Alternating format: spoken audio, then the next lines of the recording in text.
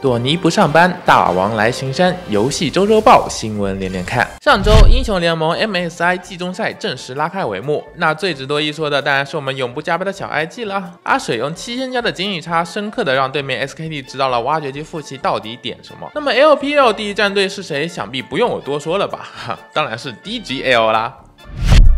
最近 PED 直播 CSGO 开箱，一心想开出龙具的他，最后花了七万五开出个 CZ 七五复古圣杯和一堆价值两三块的白色手枪。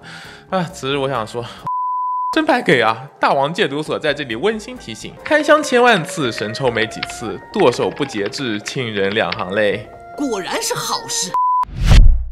iPad 平台作为 Steam 最大竞争对手，将不封锁中国地区，支持支付宝和微信。大王当初作为一个狂喷 iPad 截胡 Steam 不地道的粉丝，现在的我仿佛能看到未来，我手里拿着饭碗，嘴里还出真香的样子。对于咱们这种小透明玩家来说，谁能让我玩到游戏，谁就是我亲爸爸。爸爸，中国这里还是有很多油水捞的，快来，可以吗？怪物猎人世界 DLC 冰原公布正式影像，新登场多种怪物以及新的猎人等级 Master Rank 和新的主线剧情，也将于二零一九年九月六日一同公开。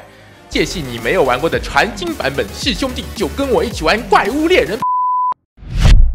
SE 公布二零一八年财报，销售金额两千七百一十亿日元，上涨百分之八点二。凭借《王国之音三》《正当防卫四》以及《古墓丽影：暗影》等游戏的不错表现，SE 公司在主机领域实现了增益。但是在手游领域，SE 的作品都反响平平。我仿佛看见耀凉的秋风朝 SE 袭来，一首《凉凉》送给我们的 SE。凉凉夜色为你思念成河，化作岁月呵护着我。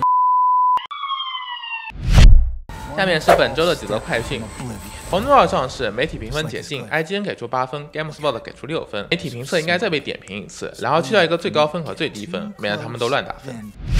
今天《神魔女三》制作人宣布，游戏演示将在下周放出，这也掩盖不了你拖更的事实。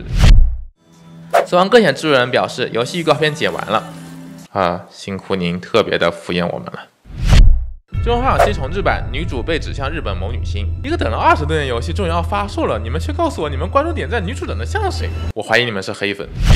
《幽灵行动：断点》正式公开，草红六号围攻公布新干员预告，育碧牛逼，鼓掌鼓掌。以上就是本周新闻节目的所有内容，这也是喜欢唱跳 rap 玩游戏的大王，求收藏求关注，谢谢观众老爷们啦。